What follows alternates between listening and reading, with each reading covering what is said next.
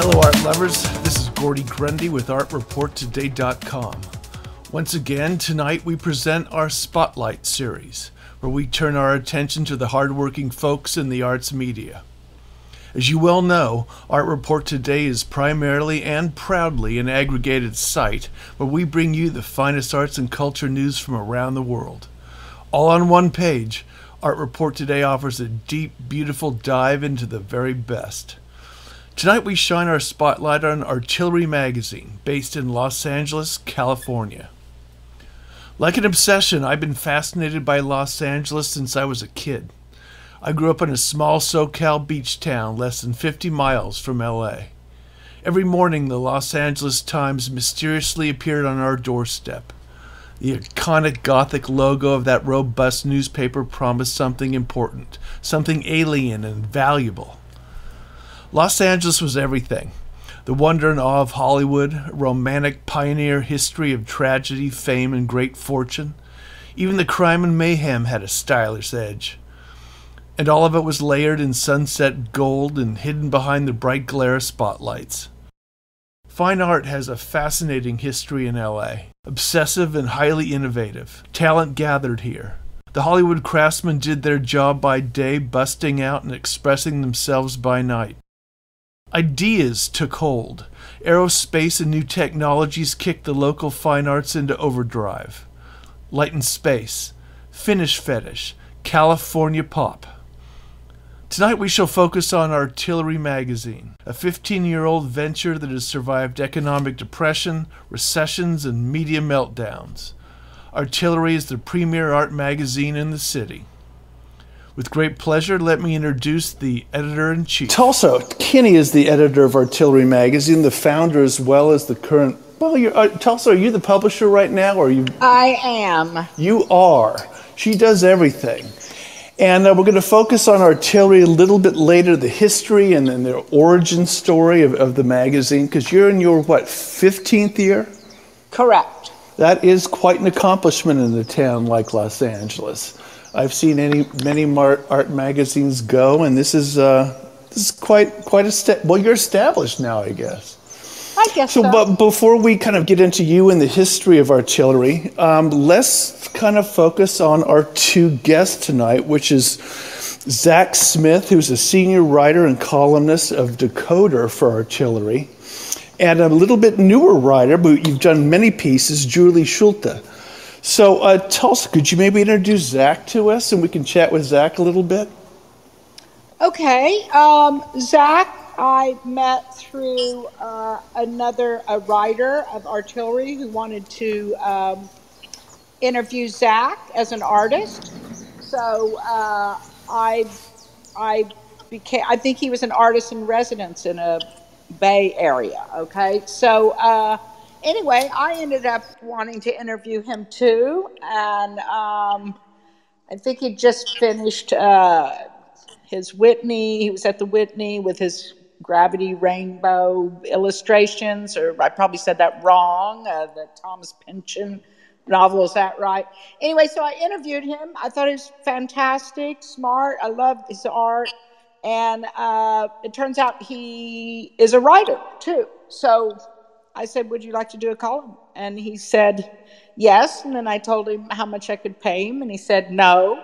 And, and he said, That was, because That's peanuts. So we came to an agreement. It's still peanuts, but anyway. Uh, so I feel like he is really, you know, contributes quite a. And then we decided on Decoder because uh, we talked about how, you know, the art world is, you know, this world that likes to be, you know, about mystery. And so we, you know, came to that. And uh, so he's been writing for us ever since. He hasn't ever missed one column. He's hugely popular and uh, a joy to work with and a great artist. Wow. What can I say? You've said a lot. Well, Zak, tell us hello and, and uh, what are you thinking? What are you doing? Hi. Um, yeah, I uh, I we settled on a on the column decoder because I I feel like conversations that I have so often with people who either people who are interested in art but they're not artists or people who are artists but they you know they haven't gotten you know aren't showing a lot or uh, people who are in one part of the art world but they don't really know what it's like to be an artist or is basically just like a lot of confusion about what all the things are like and they're and they're all kind of assumed to be normal you know like oh you know you you have a show and every you have a show every year or year or two years. If you don't, then something horrible's gone wrong. Uh, the show has a press release. Usually, your gallery will write it, or you will write it, or, and one of whoever doesn't write it will complain that it sounds ridiculous, and then you have to keep rewriting it. It has to say certain things in it uh, not because anyone thinks those are important things to say, but just because that's what press releases look like. When you have a museum show, then there's wall text. Who writes the wall text? Where does it come from? And there's and and there's just like there's no I mean, even after I don't know how many years of art school I went through, nobody really ever explained like what are these little rituals and and requirements and assumptions that people have. And I wanted to just sort of make a column about those things. And then in the beginning, I did almost just that. And then after a while, I started to branch out because, you know, you run out of, you know, simple things to explain. Um, but, you know, I explained, uh, we, I did one about what it's like to, you know, try to work during the pandemic uh, by interviewing my friend uh, Joanna, who's a like young working artist, uh, trying to do that, um, and talking about you know the fun- the relationship of you know press to you know an artist's career and things like that. So it, it just sort of it my idea is that it's an all-purpose explainer you know?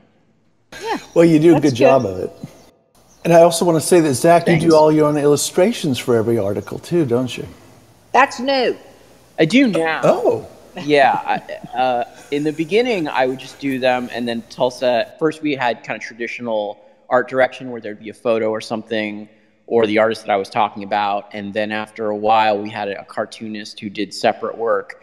But right. then after a while, Tulsa was just like, well, why don't you just do it yourself? And I was like, yeah, I mean, I don't see why not. Ad Reinhardt used to do little cartoons that looked nothing like his paintings, you know? Oh. Um, and so I thought, you know, I would do that. Like, I'm not really, um, even though like my work has a lot of heavy black lines and stuff, I'm not really trained as an illustrator. And the big thing about being an illustrator is being clear um, like clarity is kind of the main. It's a value that fine art, as you may have noticed, never has. Um, clarity is not the top of the most important thing, right? Mm-hmm. Um, and so, even though I, I, knew a lot of the tools of illustration, and I, I, didn't really making the picture clear enough that people go, "Oh, it's you know, it's this." Is you know, it's a little bit of a challenge every time just to. It's a it's a small picture, but yeah, it's it's like just slightly different than my my my normal way of thinking when I start a picture. But yeah. Well, it adds a nice signature. I like it. Me too. Do you still paying peanuts for those two, Tulsa? Well, I gave him some money for it. That's enough. That's all it needs to be to stuff. It's the honor. I mean, I like peanuts. I'm like a circus elephant, you know. yeah. Okay. Good. well, arts writer is a very prestigious title, but yeah, it's peanuts. yeah. but also, like the more I found, I every writer you ever interview on here will say, the more, the larger, you know, if you get paid a lot suddenly what you have to say is very restricted. Mm-hmm. because that just happens and you know so like artillery is not you know it's not writing for vanity fair but it is i i never get an article killed you know like I, nobody ever says we can't publish that. We'll get sued. Um, and uh, so a lot of times a lot of writers you know, if you look up the history of, uh, you know, Truman Capote, like any writer, Hunter Thompson, anyone who, you know, made a career as a writer, they often have like a steady gig, which, you know, is, it pays peanuts. But the point, but you mm-hmm. get the more direct communication there alongside things that are, you know, sometimes, you know, more extensive, but they're, you, you know, they're more someone else's vision. You know, Tulsa doesn't tell me what to write about. And, uh, and so it's kind of direct line in and I'm just happy. You know, I'm happy to have a place where that is what happens. You know. Absolutely, and you know, thank God it's not Vanity Fair. You know. Except for he would have liked the money, and I would like, and I just want to insert right here. I would definitely want. I would love to pay more. I would love to pay more, but for some reason, you know, advertisers don't take this into account. You know that hey, we have to pay our writers. Hey, we have to pay a printing bill. Hey, we have to. I mean, you know. Oh, they get to write what they want to write gonna, about. Uh, you know, I'm not gonna. I'm not gonna put my publisher's hat on during this time. Okay. you know, well, uh, Scrappy hey, Little Art Magazine is gonna have Scrappy Little Art Magazine profile. Yeah. You know, that's, that's absolutely. Goes, you know? Well, you know, we're on the subject of, of writing. Let's introduce Julie Schulte. Julie, you've been with Artillery for almost a year right now, isn't it? Been a little over a year. I um I was assigned my first piece um, right before lockdown. So, yeah. you can commemorate that experience with artillery. Yes. Yes. well, tell us tell us how you found Julie. Well, um, Emily Wells, who is a uh, associate editor for us for a couple of years, she's on to bigger and better things right now. She's got a book deal. I'm so happy for her. So, uh, but Emily brought in a couple of new writers, and I'm was thrilled with the new writers she brought in, and Julie is one. So, Julie, I know uh, knows Emily through uh, grad school, correct? Yes, that's true. Yeah, right and uh, she's great. So uh, very good. I like the subject matter and uh, very meticulous, very uh, great writer, and I feel very fortunate to have her on board. Nah, she's very thoughtful. Julie, you're very thoughtful. Thank you. Maybe to a fault. I'm a slow runner. well, that's you know why we do it. So, well, now your, your your current piece on artillery right now is is a, a fascinating piece with Emily Barker, and I really yeah. enjoyed reading that.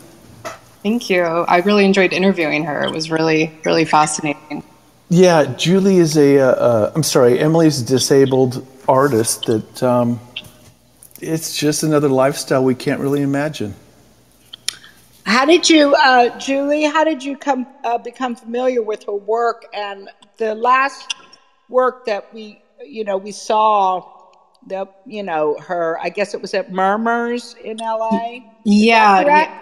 Yes, that was that at the amazing. End of, yeah, yeah, that was at the end of 2019. Um, and right now she's working on building, you know, an accessible space for herself. So that's sort of but it's been an extension of that project. So, you know, she worked with the 3D imaging and um, got really comfortable with that. So, yeah, I think she's focusing on that and then getting back into art. Um, so, yeah, it was interesting to to talk with her. Um, you know, I suppose about really, I mean, what she's doing. I mean, it's a complete extension of the life she's been living for 10 years.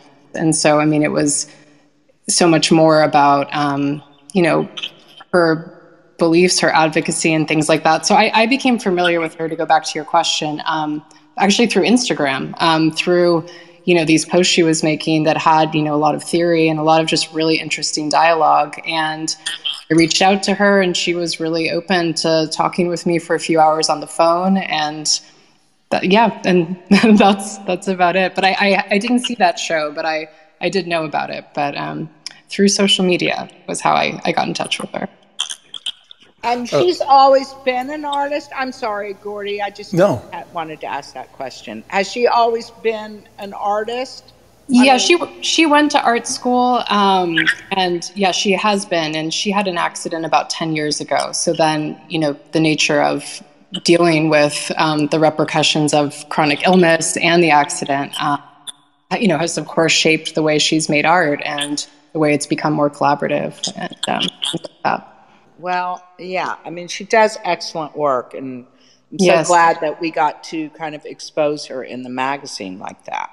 Yeah, yeah. I also think like the hard thing about doing, I don't know if it's hard, but like the thing about doing an interview like that is you want to give the artist the chance to, to talk, and you have to kind of be egoless as the interviewer, yes. you know? And that and the interview like there's there are only a few questions, but they're the right questions, you know. Yeah, and well, set thank, her off. thank you. Yeah, it was it was difficult, and I I mean, if you've read my work, um, anyone listening, um, I often write features, and um, but it felt really important to do an interview, although I don't come from a background of interviewing people. Um, it felt really important to give her the space and not try to do something I normally do as both a fiction writer and you know an essayist, which is have my own spin on things. It felt like the less of me, the better. so. Absolutely, as an interview, if I go back and listen to my, uh, you know, if you do a recording and you, you know, are transcribing, and anytime I hear myself, I'm like, would you just shut up? I'm like, oh my God, you know. So I understand that, yes. Yeah. That's a delicate process of trust. And I mean, one thing that um, was really interesting and, and nice was I, I told her from the beginning that she's been getting a lot of press recently, and she had just had something come out, I think in the Huffington Post, where you know she really took issue with the title. Um, uh, like make art accessible and she was like make everything accessible you know? And um, and so she reposted you know this feature on her crossing that out and um, and correcting it. And i was um, you know i was very conscious of that and that she some of some interviews you know she'd been asked questions like i don't know and I, I kind of brought it up. I said you know i i only have four questions um, and, um, but that's because i've already been reading all these things and i sort of i want to give you this space and she said um, you know it's difficult to sometimes be asked things like um, I guess she was asked recently, like, what's left? You know, what what do we still need? You know, as far as accessibility and disability rights, and she just felt like that shut the interview down for her. Like she didn't want to speak anymore, and so I mean, it feels important to to do that kind of work before, and um, I don't know, but I I did feel being a little vulnerable with her and and sharing that like I I've, I've done these things. Here's what I know. And I really, and here's what I'm curious about. You know, um, I think kind of softened her and pointing, celebrating her for actually correcting a piece. Um, I think actually kind of made it a more friendly environment, you know, and, and made it more of a discourse rather than just, you know, here are some questions and now answer them and goodbye kind of thing. Right. Did Now, she Miss- see the piece, uh, Julie? And Yeah. Did she, did she give you? I should definitely uh, send her some magazines, by the way. But did she? did she see it? And what yeah, was she her- did. Yeah. She she loved it. She was really really pleased. Um, so she reached out to me after, and um, you know has been reposting it, and um, I, I was I was happy, and I've gotten quite a bit of feedback from it. So, and actually, we were quoted. Um, well, not we, she was, but our article was Uh-huh. quoted um, in a, in a meme recently. So that was nice too. Great. Cool. Good, uh, good Yeah. for you, and good Feels for like her. Yeah. Huge mouth for us all. I, I assume that was over the phone with COVID and all. Yeah, it was over the phone. Right. Um, as an arts writer, we like to interview people in person so we can get that extra verbal. And so, Right. yeah. Right. Yeah. But, When possible, yeah, but it's better than email, at least. Of course, you can't cut and paste. Right. Right. So. I think that like one of the like the medium that you use for the interview is so it determines so much. Like if you do an audio interview, like okay, we're doing this, right?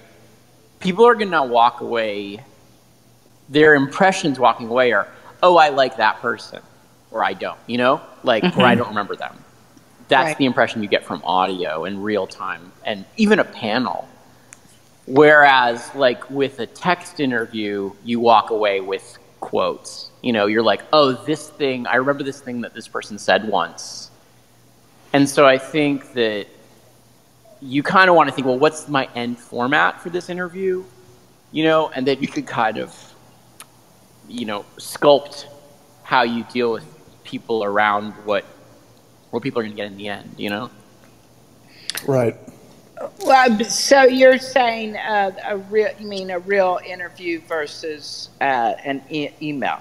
Is that what you were uh, trying to? Well, I mean, in an email interview, sometimes you really just need someone to be able to say their things, right?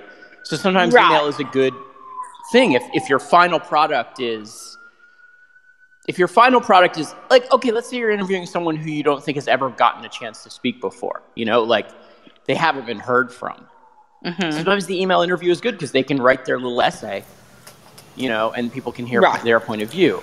But it's often good to it's often good to go, well, where does this go? Who's reading it? You know, like why is this, you know, is this a column in, in artillery? You know, is this a feature? Is this informing a feature that I write? Like interviews aren't just one thing. They're like a whole there there's a they, they, they serve different functions, almost like, you know, there's many different kinds of interviews as there is different kinds of writing or essays. So I think that, you know, even though we want to do things in person and like you talk in person and you transcribe is definitely like the, the, the best, mm-hmm. sometimes you really just want to nail down a specific issue that you really, you know, like, I want to get to the bottom of this and sometimes that's just a matter of, especially with someone who hasn't had a chance to say their own piece. Sometimes that is just like, here, here's an email question. Write your little, you know, eight eight paragraph essay about this idea, and then I can ask another question once I've let you, you know, let it all out. You know. Well, but right. I mean, I think people in real life, like, there's a lot of people that like to avoid press, for instance, right? Because they say, oh, you always get it wrong. You always, uh, I mean, there's many people that avoid press because, and also, I mean, like one of the persons, I was so thrilled to interview John Waters. You know, I'm like, right? I'm like, this is fantastic. Oh my God, this is great. But I realized he had it down what he was going to say and what he wasn't going to say and what he had pat answers and he uh, you know he was very cagey in a way and maybe, like you say, if they if he had an email and answered it, he would maybe have actually even opened up more. Who knows? Maybe I Probably. find that like experienced people with like long careers behind them, they've been burned so many times, or they've just been edited. You know, like what they they say a long answer and then it gets edited down to like one sentence. Right, right. They right. when I yeah. interview people who are really really veteran, veteran people, they have a spiel that they give everyone. Exactly. Like, and they will return. Exactly. And in the way you do a really good interview with them, one hopes, is that you break past all of those things without upsetting them so much exactly. that they feel. You know what I mean? Like that's a, a delicate balance. It doesn't with younger artists, like mid-career artists, they're like, yeah, oh, I love to talk. Someone's listening to me, thank God.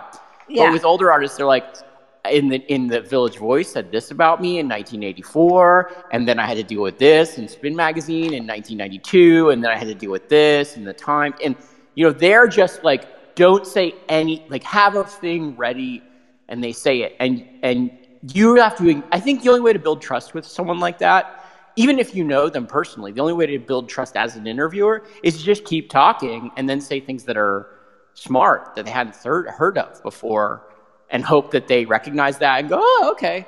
Yeah, yes. I've never, like when someone go, when an experienced like creator goes, I've never been asked that before. That's like, oh, thank God. Oh yeah, that's a go. you know? Right, right. Definitely. And now, Julie, most of your articles in artillery so far have been profiles, right? Yes. Yes. So, uh, do you agree? I mean, I mean, maybe this isn't like. Do you think like, oh, maybe I'm a, a good interviewer, or maybe I'm. A, is that something you kind of like to do?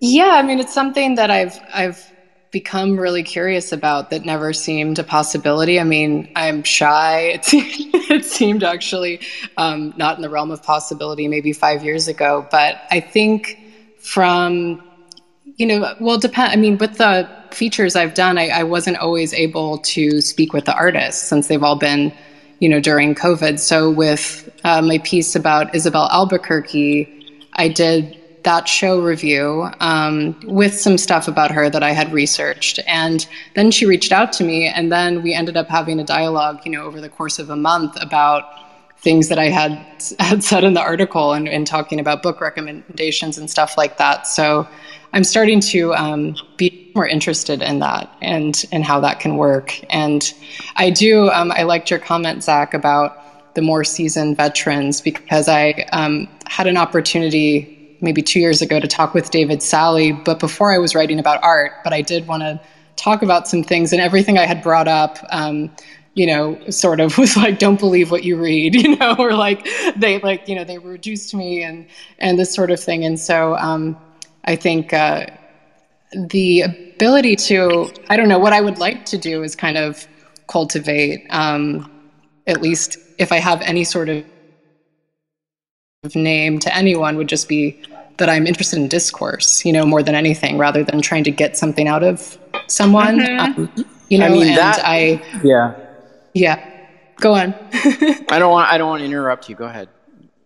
Oh, I was just going to say that. Um, that yeah, that I, I think I preface. You know, when I when I interviewed um, Yasmin uh, Diaz about her her soft powers exhibit, I you know I told her I mean, I was learning so much from the art, and I was, you know, interacting with the pieces, um, and you know, had done a gallery round before I got to talk with her, and then she walked me through, and you know, I I I was interested just to learn more, and I um, I don't know if that helps or not, but it seemed like I didn't have an agenda, so there was um, a different kind of I don't know rapport that was shared. Um, but maybe I'm also choosing people I feel I might be able to share that. I mean, it feels somewhat, you know, an intimate exchange that, you know, we're sharing this dialogue. And um, yeah. That was a very. Yeah, I, I, think, yeah. Oh, I was just going to say that the thing of like being interested in discourse is I mean, I, I, I, tend to think like once in a while I back up, right? And I'm like, oh, I read a column for an art magazine and then I, you know, I read something in, in another art magazine, you know, and I'm just like, we talk about art so much. Like everyone talks about art so much. And what is the, the end result of all this talking? And the mm-hmm. thing is, like, I think in the end, the art world is one of the few places where everyone has talked so much to so little effect that they realize that they actually just like talking. like, you like being able to, sh- like, like when there's a film, like a big movie comes out, right? And everyone has a conversation. That is a conversation about the future career of every director and actor in the movie, right? Like really what we're saying is was this a dud? Should Hollywood ever give this person money again? That's not what we think we're saying about the movie, but that's what the people who made the movie are thinking, right? Right. Where in the art world, there's really like the, the, the, the vital question for the creator is, did I get press or not? You know, that's it. Um, and hopefully it was good. But you know that you know, but there was press or there wasn't. But we also know that all the hundreds of things that we said about the grid and the gaze and the color and like yellow is the color of hatred and whatever every fucking thing everyone said since the 1970s about art, everyone's forgotten it. And they'd only remember in art school for like a week to write a paper and then they forget. But really, what we're doing is we're talking to people who have similar interests about things we like. You know, like the art world discourse has been so hypercharged for so long that I think people now have realized on a certain level, like, yeah, we ju- we talk about these things because that's part of the the interest of them is that we have a personal reaction and we want to be like, is this what everybody else is feeling? Like, let's talk about art. And I think that in some ways that's you know in some ways it's depressing because it's hard to make change when everyone's just talking to talk. On the other hand, it's freeing because there isn't this feeling of an, the judgments aren't harsh and they aren't they aren't going to they aren't final. Everyone everyone agrees they're kind of semi-final. Everyone's trying to trying to push their find their way through. And I think that you know when you really like saying that you're discoursing to discourse, you're talking to talk is it's kind of nice. Like it, it's kind of a it, it, in a way that almost you it's almost there's almost there are very few subjects you can talk about these days where you're just talking to talk and not to like defend the patch of ground that if you lose it you'll die. You know, like mm-hmm. like I don't talk about politics with anyone I know because we all agree about everything. like, what else are you gonna say? you know, like right. the president was a psychopath and now he's not a psychopath, but he's just a guy. Like that's great. Like that's all. There's nothing to talk about. There's no discourse about politics. It's just it's a very it was very black and white. Whereas art is like, oh, this guy painted a wolf with a red sun, and then he painted on side of a wall, and then he's, he has his mother upside down floating with wings, and it's like we don't. That's not a life or death conversation. Thank God, you know. Yeah, yeah, that's a good point. Very well. Tulsa, I want to kind of interject a little bit about the history of Artillery Magazine because it's pretty spectacular. But we'll jump into that. Then we'll start talking about the next issue because I know both of you guys are all, well, all three of you are working on something interesting. So, Tulsa, 15 years ago, how in the hell did you start Artillery Magazine? Well, I mean, it's kind of an old saw, I think, at this point. But anyway, um, you know, it's an experienced pattern. Yeah, really. I just felt like, you know, that there was not a magazine uh, out there at, uh, in LA, and uh, you know everything was uh, from New York, and also there were, you know, you would get an Artforum or Art in America, and you'd look for.